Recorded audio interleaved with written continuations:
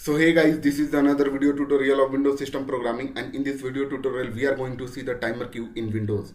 So basically timer queue, it is a queue for the timers and timer in this queue is known as timer queue timers. Queue timers are lightweighted kernel object which reside in timer queue and this timer so timer queue enable us to specify the callback function to be called when the specified due time arrives.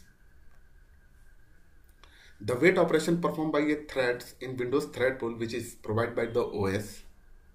We will use this thing in our program and we don't create our timer queue instead of we put our queue timers into default timer queue which is provided by the Windows. We'll see how we are going to be do that. The application of timer queue is if we want high precision and low overhead then we can use this timer queue. If you see the working of the timer queue so here there is a is my timer queue i'm putting here in empty queue there is a timer queue which is reside in kernel.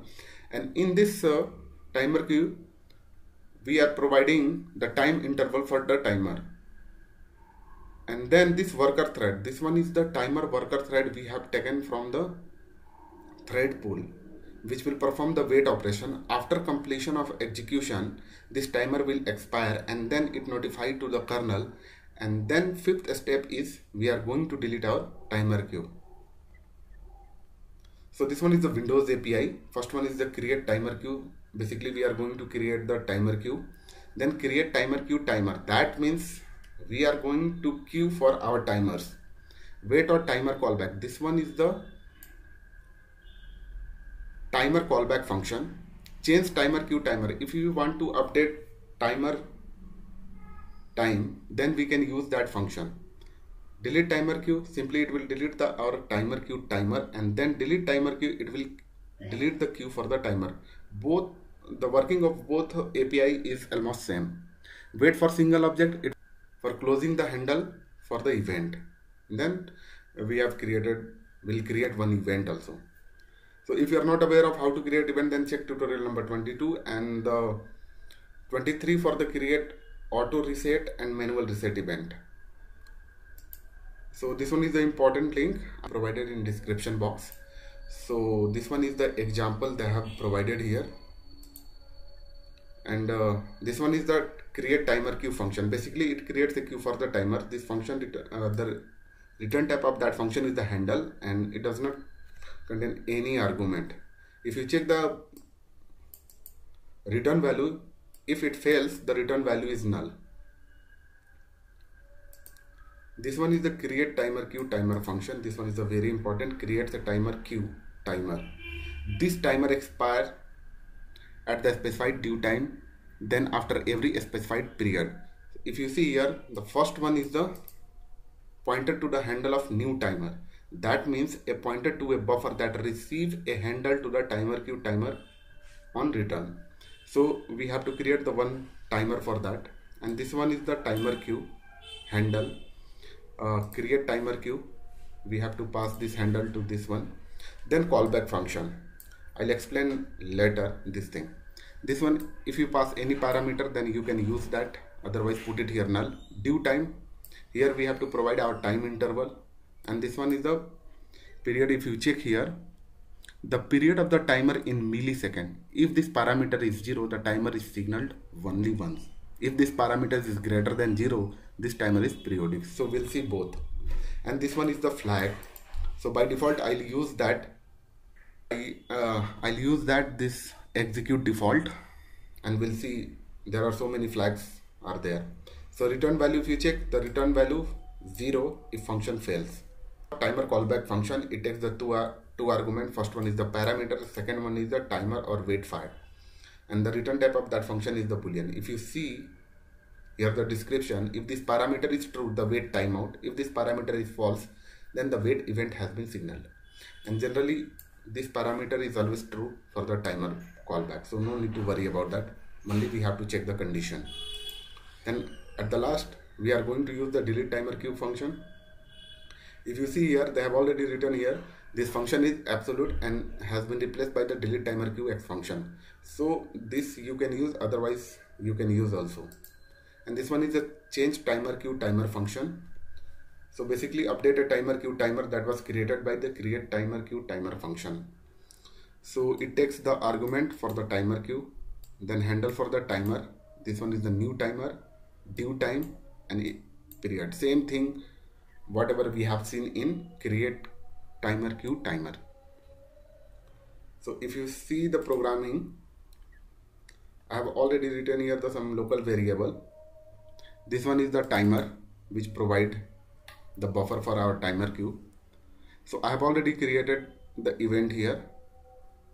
So I'm directly I'm jumping to step 2 step 2 we have to create the timer queue so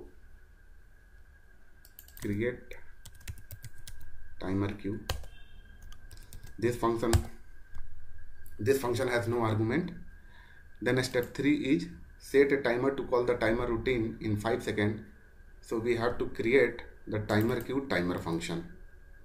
The first argument is we have to pass the h timer. I have already created here h timer. Second one is the handle for the timer queue. So this handle we have to pass it here. Third argument is the wait or timer callback. This one is the timer worker thread so the name is wait or timer callback so just I'm writing here but the type is wait timer callback why I have written here typecasted? If you check this function the type of that function is wait or timer callback. So that's why that's why I have typecasted this value then if you want to pass any parameter no. So I'll put it here null. Due time let's say here I'm putting 5 second so 5000 millisecond equal to 5 second. Then period no. So here I'm putting only 0 this timer will execute only once. And then the flag is also 0 this one is the default. Then after that I'm checking the condition here. Then step 4 is timer is calling. There is a simple uh, cout statement here. Now we have to perform here the wait operation so I'll use here wait for single object for the event here. This event will notify the timer and millisecond so here default value is infinite. I'm putting here. I have used this function so many times in my previous tutorial. Then we are closing the handle. So closing the handle for event so h event. Then step 7 is we have to delete the timer queue. So directly I'm using b delete timer queue. Handle for the timer queue. So h timer queue. Then we have we are checking the condition. Now jump to the our worker thread so here I'm checking this condition. If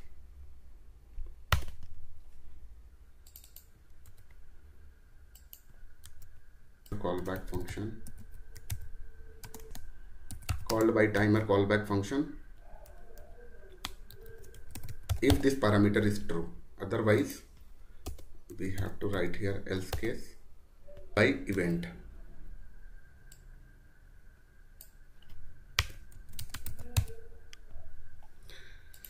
and now here we are setting the event.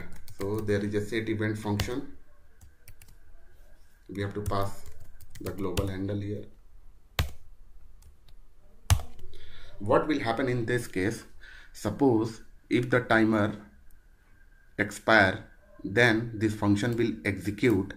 And this set event we have already created the event in non-signal state so it will set the event to signal state and then here it will complete the wait operation. Then it will close that event and this timer delete the timer queue. This one is the complete operation of that. So try to build this code. Will succeeded. And just so after 5 second it will execute see the call by the timer callback function and delete timer queue success. So how to call this uh, timer in some periodic way? So suppose here I am writing 4 second and here I am putting 2 second. So what will happen in this case? And thus change this flag also. Let's say I am putting here execute timer thread here. If you see it invoked by the timer itself. So what will happen in this case?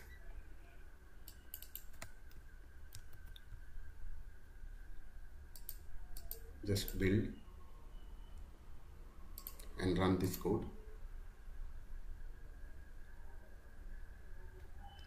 The timer will call after 4 second so see here the timer is called by called two times and then after that here we are getting the error. Why? Timer has already expired but the operation is not complete.